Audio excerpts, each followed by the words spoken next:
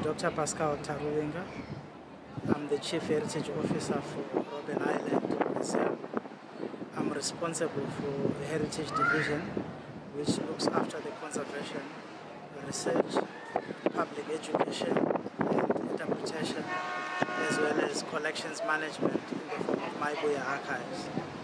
Uh, today, we're privileged in hosting the Deputy Minister of uh, the Department of Environment, Fisheries and Forestry, who happen to be the custodian and the focal point for the implementation of the 1972 Convention in South Africa.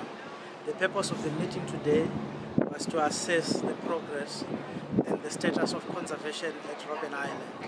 We, we highlighted to the Deputy Minister our progress in terms of conservation, in terms of memorialization, our relations with uh, former political prisoners, and also the fact that we have just become a marine protected area since 2019 and therefore we are looking for institutional arrangements with uh, SANParks.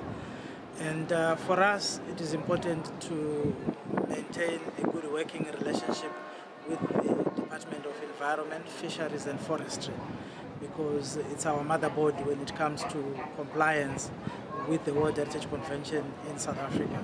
And the things that we picked up from the minister today is around uh, uh, conservation, around uh, socio-economic opportunities on the island, which we must look at for the benefit of the broader society and for the benefit of uh, upcoming entrepreneurs in South Africa as part of our contribution to uh, job creation.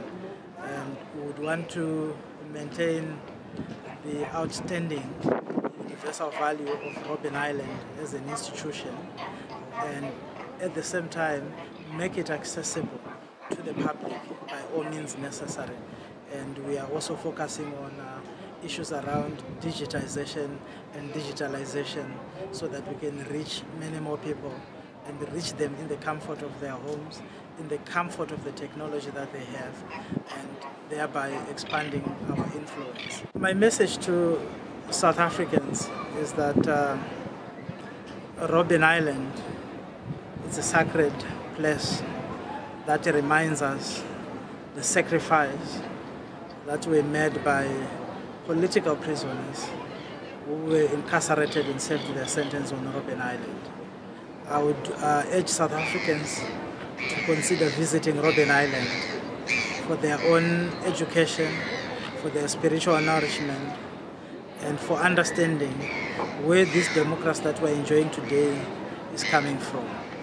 And uh, last but not least also, I would like to appeal to the young people in this country and uh, encourage them to connect with their own heritage through the means that they understand.